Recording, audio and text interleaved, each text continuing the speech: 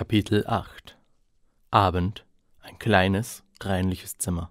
Es war bereits später Abend, als Faust und Mephisto die Straßen entlang schlenderten, in Richtung des Hauses, in dem die schöne Unbekannte wohnte.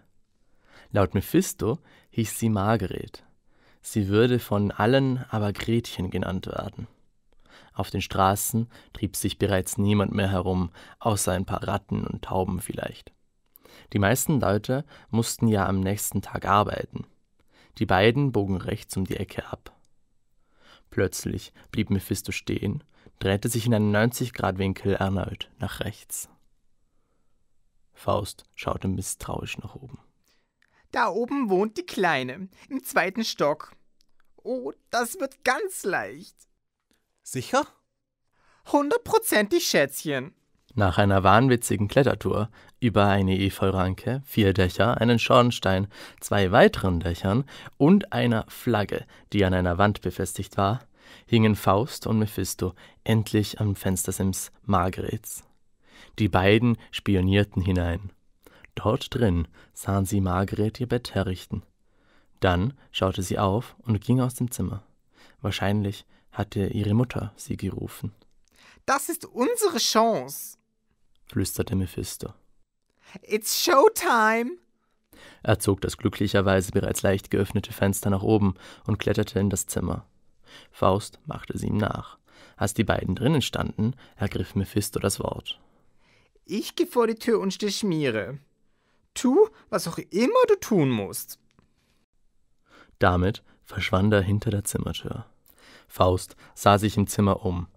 Er erblickte einen großen Schrank, einen kleinen Schreibtisch, einen Sessel, nicht aus Wildleder, aber trotzdem recht komfortabel wirkend, und ein Bett, über dem ein halbdurchsichtiger Schleier angebracht war. Es sah damit fast wie ein Himmelbett aus, und unverkennbar dominierte es den Raum.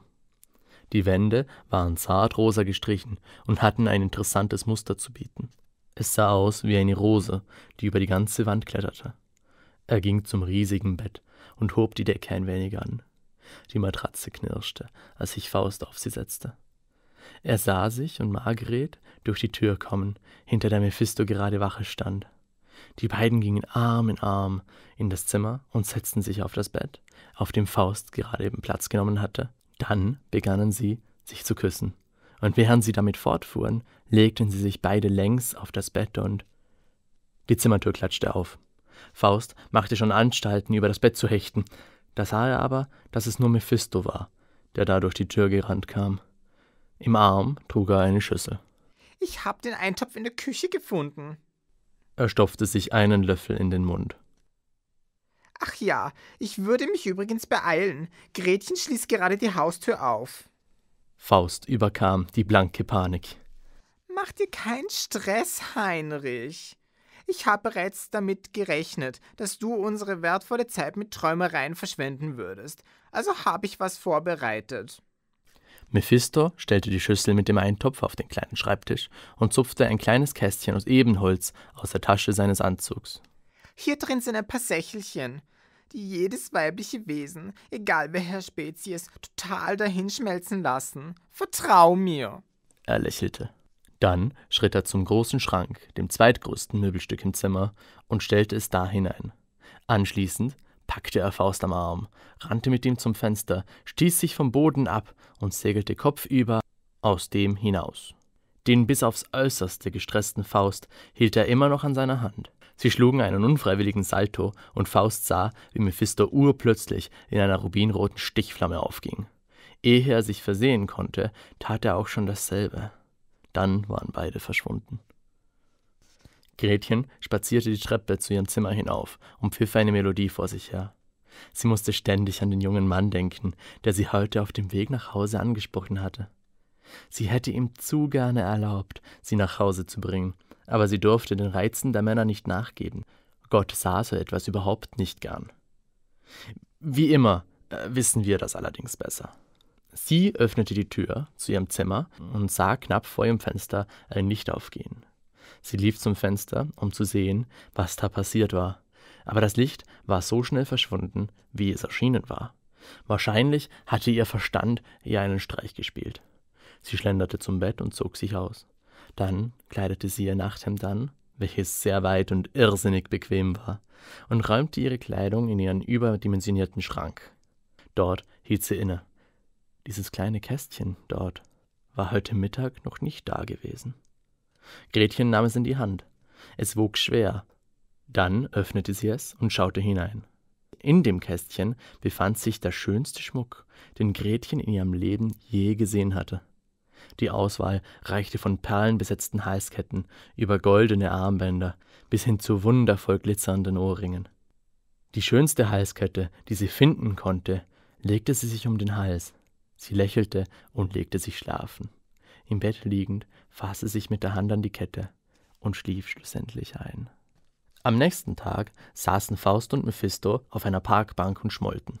Sie schmollten, weil der Plan, Gretchen mit dem Schmuck anzulocken, wohl nicht geklappt hatte. Sie war dem Schmuck sehr wohl verfallen, hatte ihn dummerweise aber nicht von ihrer Mutter versteckt. Laut Mephistos Latest News, wie er sie liebevoll nannte, hatte die Mutter Gretchens in ihren Aberglauben den Pfarrer der Stadt herbeizitiert, um den Schmuck zu inspizieren, welcher von dem Pfarrer logischerweise als das Werk Satans entlarvt wurde. Deshalb schmollten die beiden. Und wenn wir einfach nochmal versuchen, Schmuck in ihr Zimmer zu schmuggeln? wunderte sich Faust.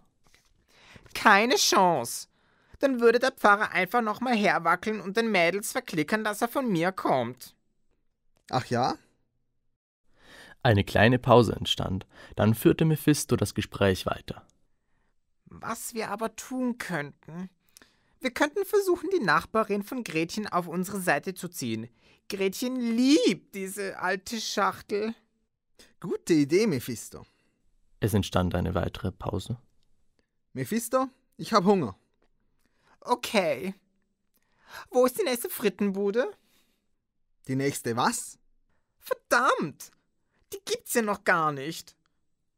Tut mir leid, ich muss mich noch etwas umgewöhnen. Kein Problem. Wie wäre es mit einem Sprung in Auerbachs Keller? Gut, gehen wir.